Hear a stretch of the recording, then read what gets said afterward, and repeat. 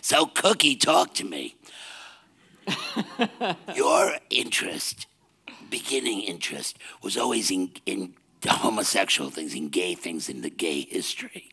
And then you fell on this. What did you think when you first fell on this? Did you think this was the story you were going to tell? Or did you think there was another entire? Talk to us. Well, actually, I was I was not only onto gay topics, you know, because I remember like uh, in 2004 I did a feature film called Wild Side, and the main character was already a transgender person.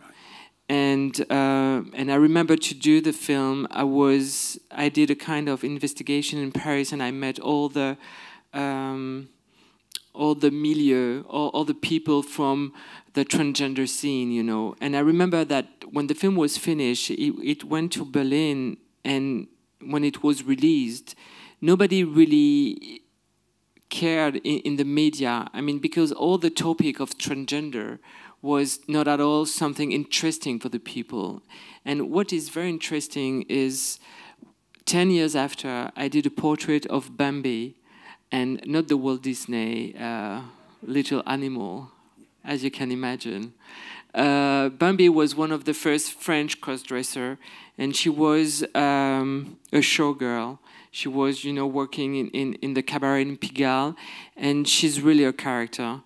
And so, 10 years after the, the film was um, uh, released in France, and, and then I had all the intention of the media and, and the audience, you know, was quite big, you know, for the film.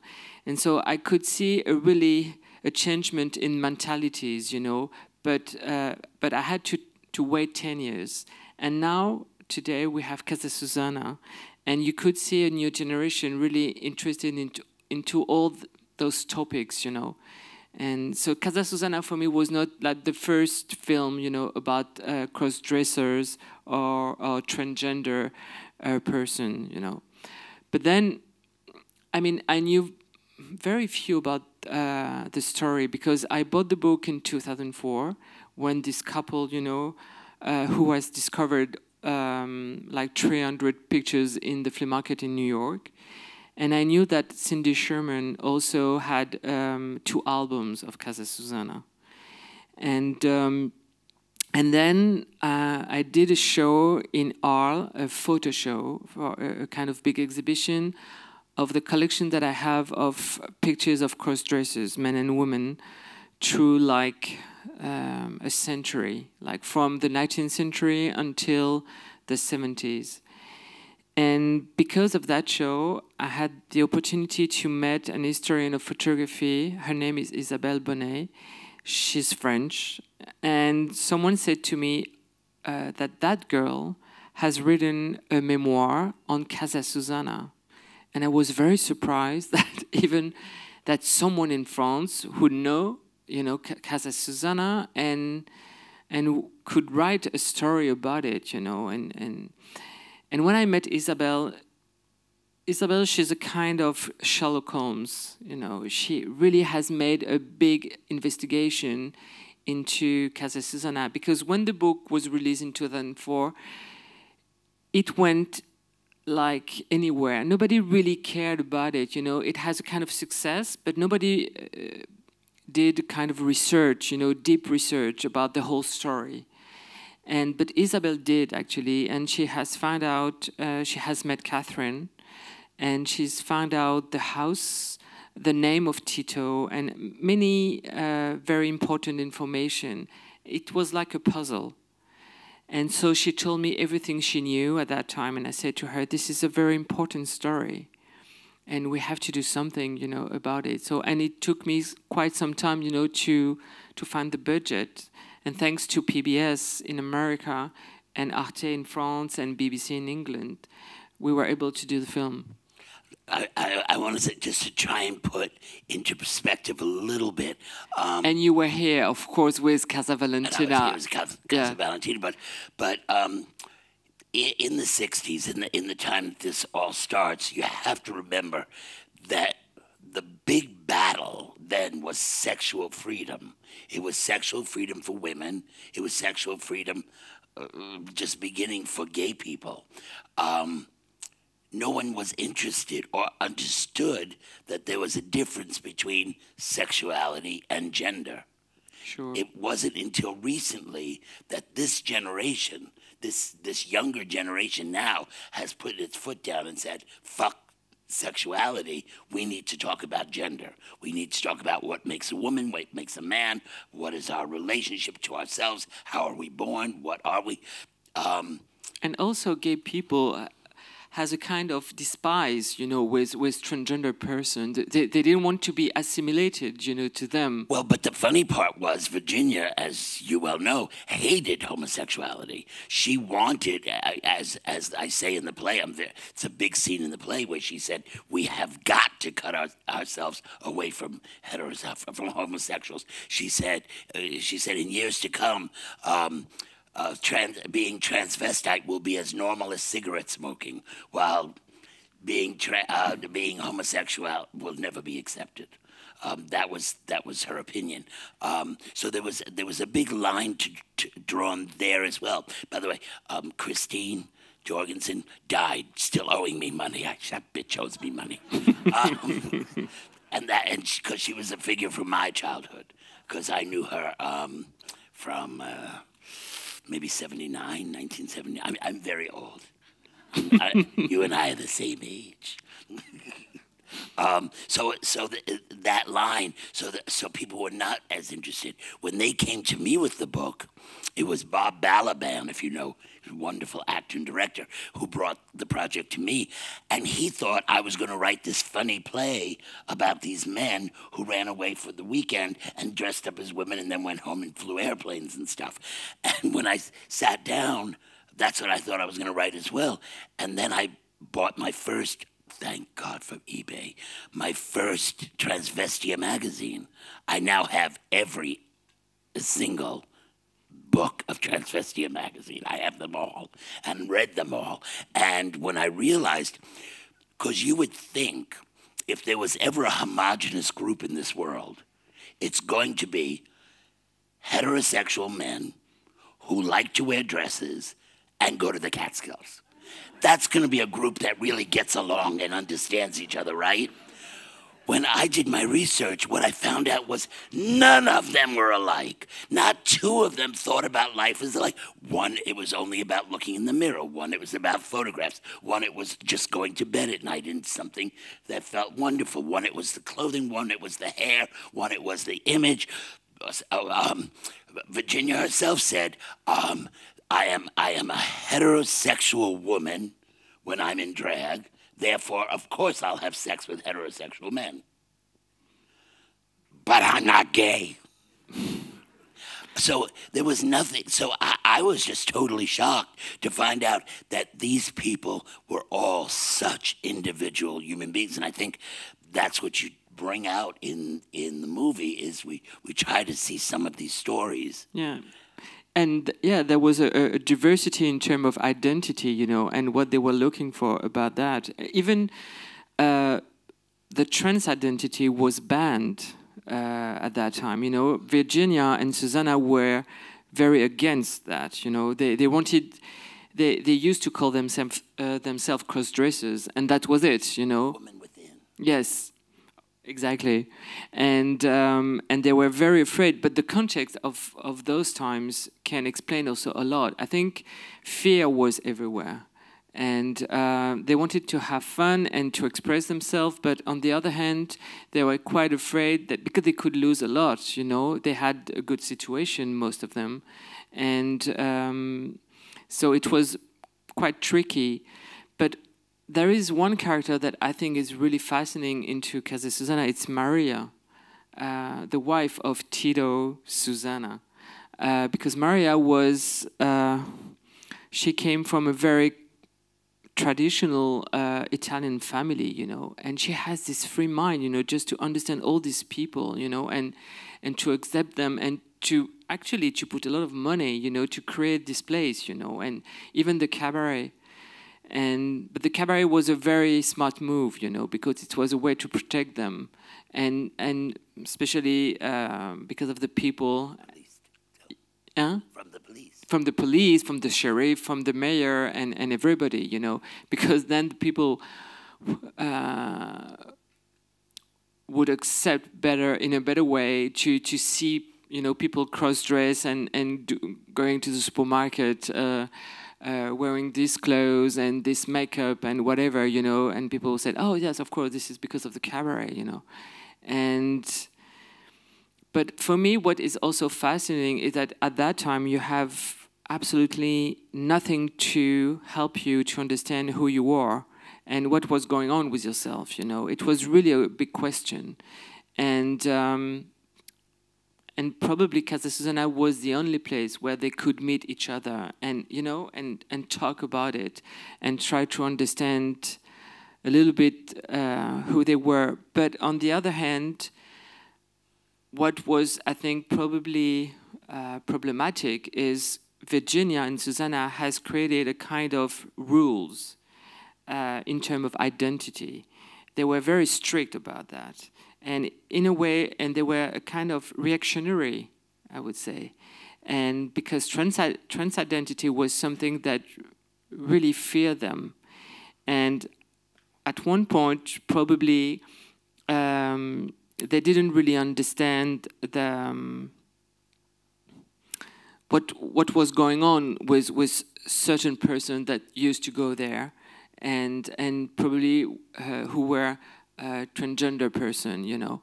Well, they they had, as you said, they had no one to lead them, so uh, they wanted to normalize it as much as possible. I think the, that's true. Yes, they wanted to make it as normal. So if you said.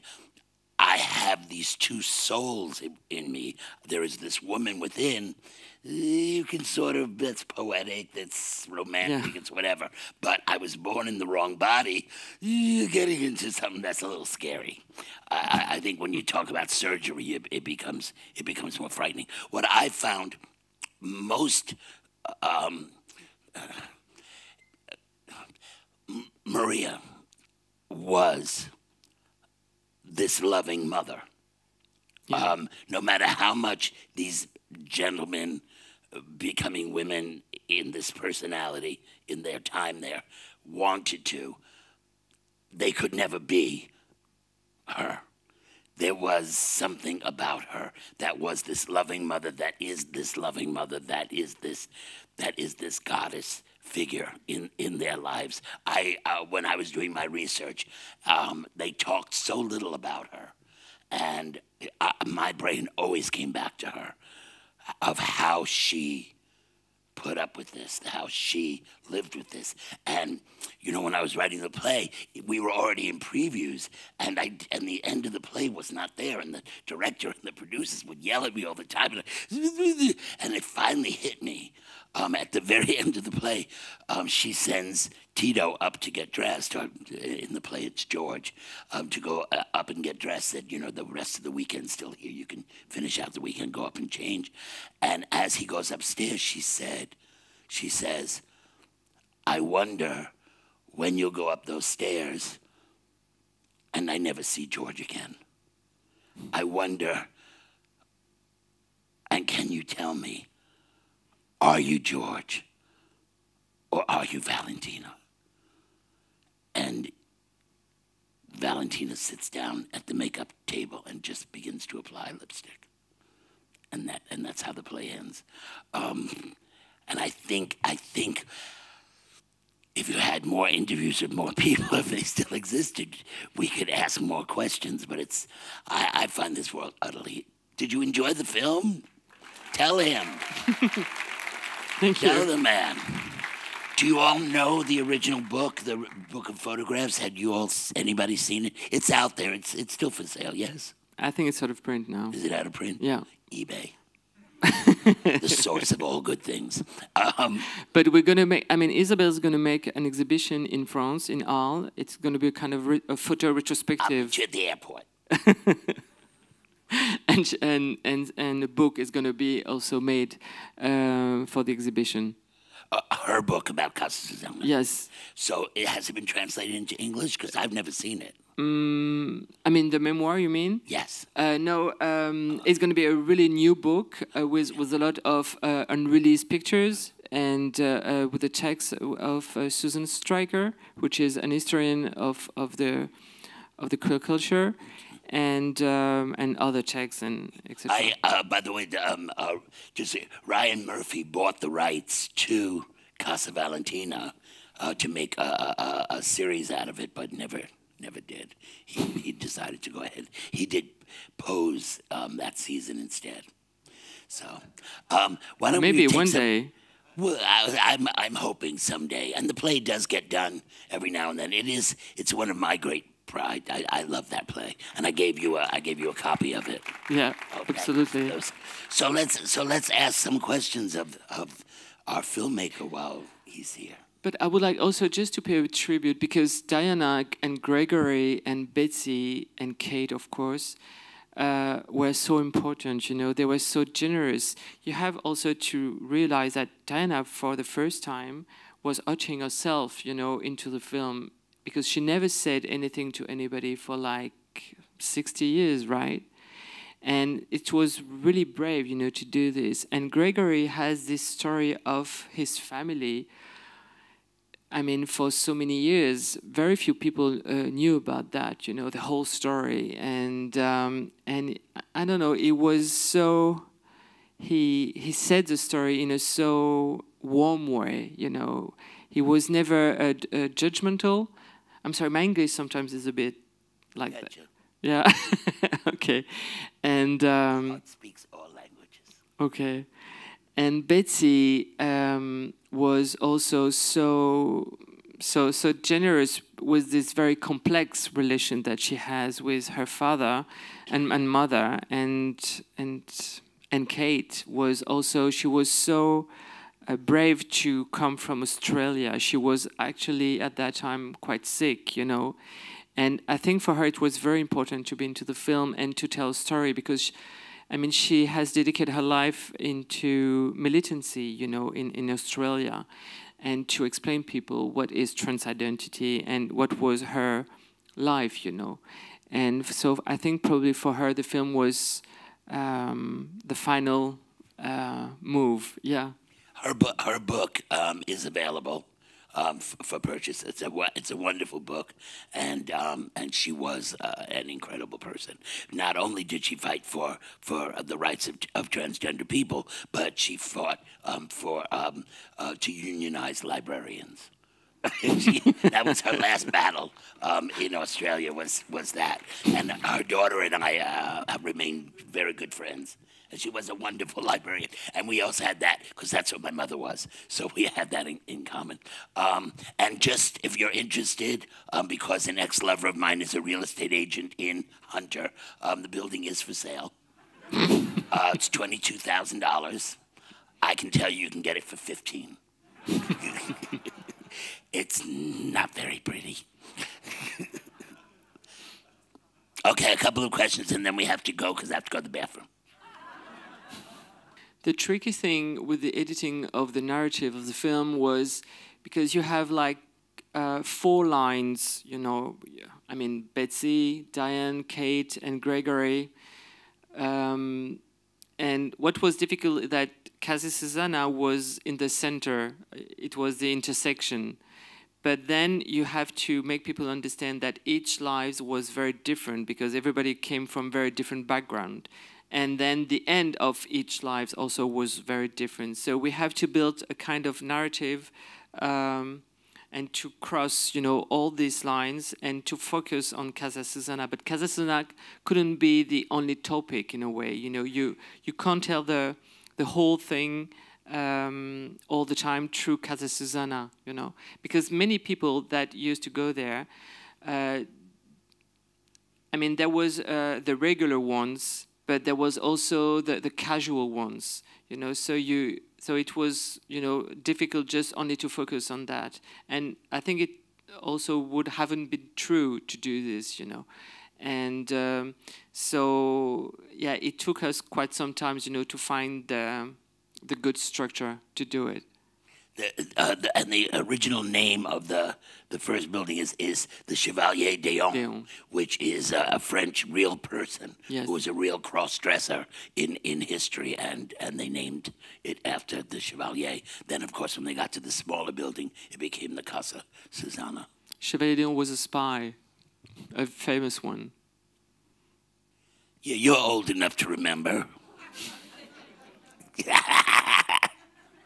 Okay. What was the opinion? Well, you have. I mean, the f- one of the first surgery uh, um, that happened was was uh, th- there was actually a film was made about that called the the, the Danish Girl, and the the first surgery was quite. Um, uh, didn't succeed, and, and it was a, a huge problem, and it was a Danish uh, transgender person, you know. And during the war, before the war, the Second World War, you have a very important person called Magnus Hirschfeld. Magnus Hirschfeld was uh, um, an historian and a sexologist uh, uh, person, and he has created a kind of um, how do you say in English? Um, uh, a, a place where you have a lot of books and a lot of documentation and a, kind of research center uh, for um, gay topics and but also um, transgender. The, the, the term transgender didn't exist at that time, but uh, let's say all the question of identity, and so a lot of transvestite used to go there, and he was a very uh, important figure into this very alternative world, you know, in Berlin. And then when the Nazis in, in the 30s uh, came, um, they burnt out everything, and uh, Hirschfeld has to run away to France, and, and he died in Nice, actually. But all his doc- documentation, which was very rare, was destroyed. And um, so, um, what was your question? The, the, the attitude in you. Oh, okay. So, but during uh, the two war, uh, there was a lot of cabaret, and there was this kind of tradition, you know, of uh, tolerance, of in these very special places, you know, where a crossdresser could express themselves, you know, on stage. But the thing is, the law was very strict that uh, out of this place, it was totally forbidden for a woman or a man to cross dress in the street. And uh, even in Paris, I remember Bambi uh, said to me that uh, there was a lot of cabaret in Pigalle, for example, and um, the chief of the police in Paris was really. Uh, she, he has an obsession with all the cross dressers because, of course, most of them they didn't care about the law and they wanted, you know, to transgress all the time, and so they used to go back home, uh, cross dress as women, you know, and um, and it was always very problematic, and uh, and it was the same in Germany.